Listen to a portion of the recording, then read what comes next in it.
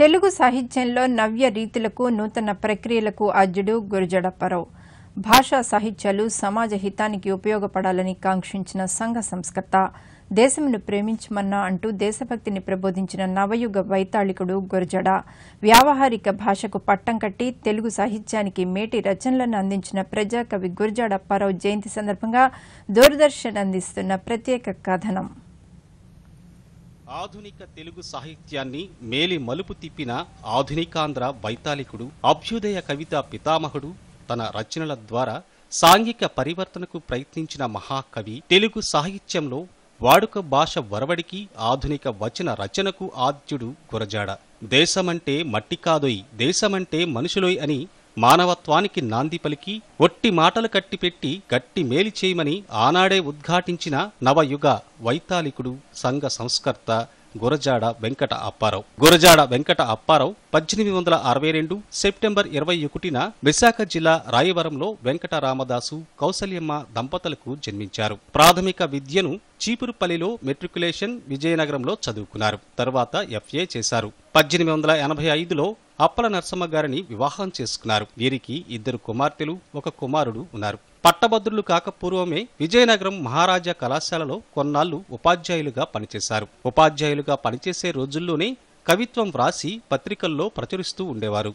మహాకవి నివసించిన గృహంలో ఇప్పుడు అవుతుంది మహాకవి చాలా గొప్ప వ్యక్తి.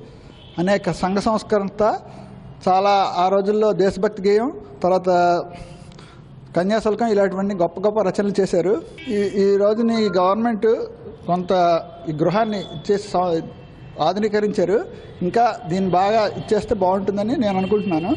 తర్వాత స్కూల్లో ప్రతి పాఠశాలలోని మహాకవి రాసిన దే దేశభక్తి గేయం కనీసం ఒక నాలుగు స్టాంజాలైనా పాడిస్తే బాగుంటుందని నేను కోరుకుంటున్నాను. ఆంధ్రావనిలో భాష సామాజిక సాహిత్య రంగాల్లో అత్యాధునిక అభ్యుదయ మార్గాన్ని చూపించి సంస్కరణలు చేపట్టి సుసంపన్నం చేసిన త్రిమూర్తులలో కందుకూరి వీరేశలింగం గిడుగు రామ్మూర్తితో పాటుగా గురజాడ వారు ఒకరు. ప్రజలందరికీ అర్థమయ్యే జీవ భాషలో ప్రయోజనాత్మక రచనలు చేసి గిడుగు రామ్మూర్తి వ్యవహారిక భాషోద్యమంలో తన వంతు కృషి చేశారు. కన్యాశుల్కం పూర్ణమ్మ ముత్యాల సరాలు కన్యక కొండుబట్టియ్యం నీలగిరి పాటలు లవణరాజు కళ దిద్దుబాటు వంటి ఆని ముత్యాలను అందించారు గురజాడ. గంగి గోవు పాలు గరిటెడైనా చాలు అన్న రీతిలో రాశిలో తక్కువైనా ఆయనవి వాసికెక్కిన రచనలు. మహాకవి గురజాడ అప్పారావు గారి గృహం నుంచి ఆయన ఆయన గురించి మాట్లాడడం అనేది చాలా సంతోషంగా ఉంది. సంఘ సంస్కర్తగా ఒక భాషా సాహిత్య భాషా సంస్కర్తగా ఎన్నో సేవలు చే సమాజానికి ఆదర్శ పురుషుడైనటువంటి మహాకవి గురజాడ అప్పారావు గారి గురించి చెప్పడానికి ఎంతో ఉంది. అయితే ఈయన కన్యాశుల్కం పుత్రిబొమ్మ పూర్ణమ్మ దేశభక్తి గేయం అనేటువంటి ఎన్నో వ్యవహారిక రచనలు అన్నీ కూడా చేశారు. గిడుగు చేసినటువంటి వ్యవహారిక భాషా ఉద్యమానికి ఈయన వారసత్వంగా నిలిచారు. గిడుగు మొక్క మొదటగా చదును చేసి భూమిని అంతటినీ కూడా వదిలేస్తే ఈయన మొక్క చేసి దాన్ని వృక్షంగా పెంచి ఈనాటి భావితరాలందరికీ కూడా వ్యవ- వ్యవహారిక భాషావాదాన్ని వినిపించారు కోవిడ్ వ్యాక్సినేషన్ ప్రారంభం సందర్భంగా ప్రధాని మోదీ గురజాడ వ్రాసిన దేశమును ప్రేమించమన్న గేయంలోని చరణాలను ప్రస్తావించారంటేనే అర్థం చేసుకోవచ్చు ఆయన అక్షరాలకు ఎంతటి శక్తి ఉందో महान तेलुगु कवि श्री गुराजाड़ा अप्पा राव गुराजाड़ा अप्पा राव ने कहा था सौंत लाभम कौंत मानु को सौंत लाभ कौंत मानु को पौरु गुवाडिकी तोड़ू पाड़बोए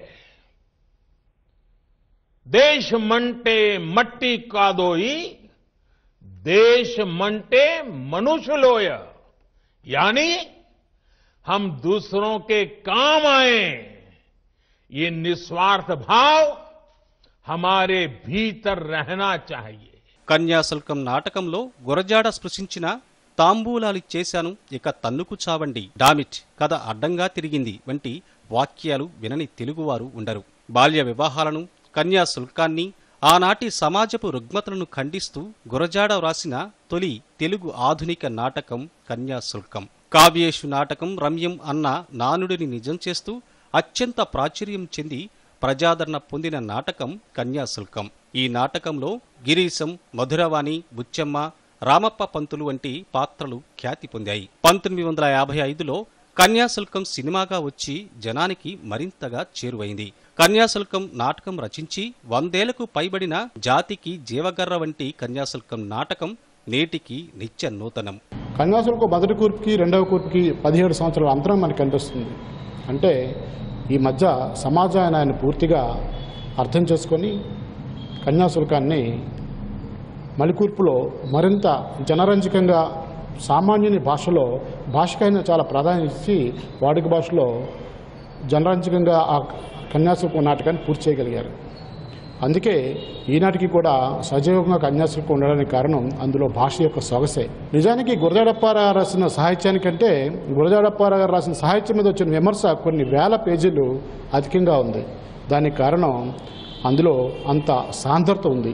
ఆంధ్రజాతికి అంతటికీ సంస్కరణల గురుజాడలు చూపిన వెలుగుజాడ మన గురజాడ పంతొమ్మిది వందల పదిహేను నవంబర్ ముప్పైవ తేదీన కన్ను మూశారు చారిత్రక ప్రశస్తి కలిగిన విజయనగరంలో గురజాడ నివసించిన ఇంటిని నేటికి మనం చూడవచ్చు. వ్యవస్థలో నిజమైన మార్పు కోసం అక్షర సమరం సాగించిన భాషాయోధుడు గురజాడ. సమాజానికి మేలు చేసేదే నిజమైన సాహిత్యమనే అభిప్రాయాన్ని అక్షర సత్యాలుగా నిరూపించి నూతన విజ్ఞానోదయ కాంతులు ప్రసరింపచేసిన దీప శిఖ గురజాడ.